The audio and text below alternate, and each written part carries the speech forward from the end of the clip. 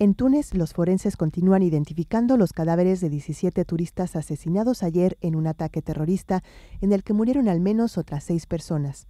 La matanza se produjo la mañana del miércoles cuando un joven ametralló un autobús en el que viajaban turistas procedentes de España y varios países de Latinoamérica, viajeros de un crucero en el Mediterráneo que había hecho escala en Túnez.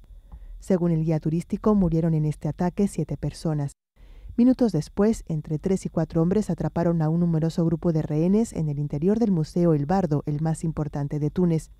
En la operación de rescate posterior murieron al menos otras 15 personas, entre ellas los asaltantes, algunos policías y unas de las trabajadoras de la limpieza del museo. Entre los turistas muertos se encuentran dos españoles y dos colombianos.